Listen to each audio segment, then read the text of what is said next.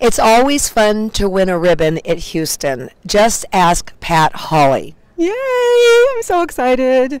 So, this incredible quilt is called Turkish Treasures. Tell us about it. So this quilt came from um, my ins- being inspired by my trip to Turkey a few years ago. And I took lots of pictures. We went to Topkapi Palace and the Blue Mosque. And I mean, I, we just saw the most amazing things. And this is 100% silk fabric, silk thread. And um, somebody asked you when we were waiting, how long did it take you? I worked on it for a couple years. Persistence, right? Well, it's a labor of love. I'm not about how fast I can get something done, and I do all aspects of this of my quilts. I design them, I draw the drawings. My uh, technique needs a drawing for the fusible applique, and I love doing that part. And then I do the stitching all by myself. It's a little blanket stitch around all the applique pieces, and I do my own quilting on my home sewing machine. So Okay, and so this is, again, all silk, and then you face the silk with something, and the thread is? I use silk threads and some machine embroidery threads, depending on the color, basically. And I, they're fine threads, so I use a smaller needle, a 70 needle, and um, and in the bobbin, I like to use something called bottom line, which is a fine thread. Right, that's a 60 weight, right? Yes, and then I can put lots in the bobbin. Right. Now I want you to talk about it's come over here. Here we go. I want to talk about the edging because this is just incredible. Okay.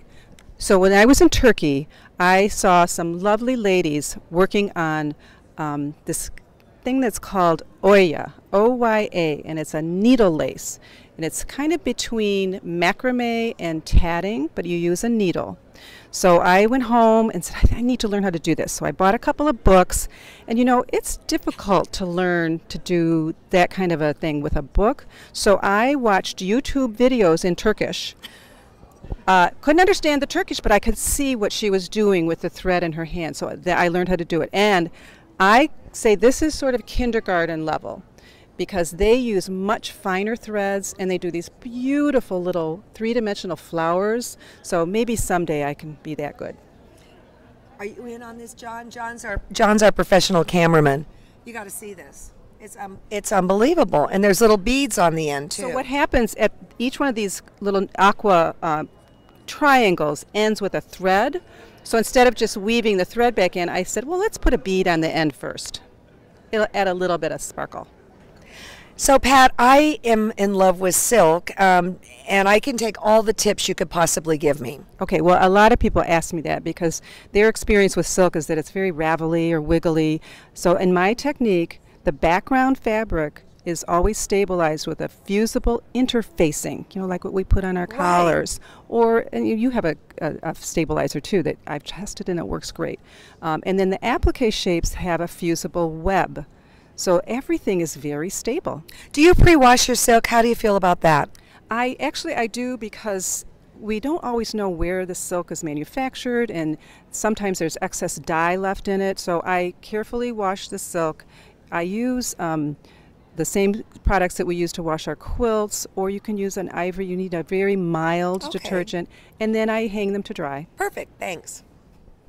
Now I know that everybody would love to take this home, and the answer is no, but you have a close enough. Share with us your close enough. So I worked with um, Linda Teufel, my dear friend at Dragon Threads, and designed this scarf with some of the elements from the center of the quilt, and I got to learn Photoshop to do that. so So where do you get this? Because it's limited. there's a limited supply. It's um, fr- at dragonthreads.com. So do you have something up your sleeves for down the road, or did this just wipe you out? Oh, Alex, I'm always thinking of the next thing. of course. In fact, I, I'll give you a little hint.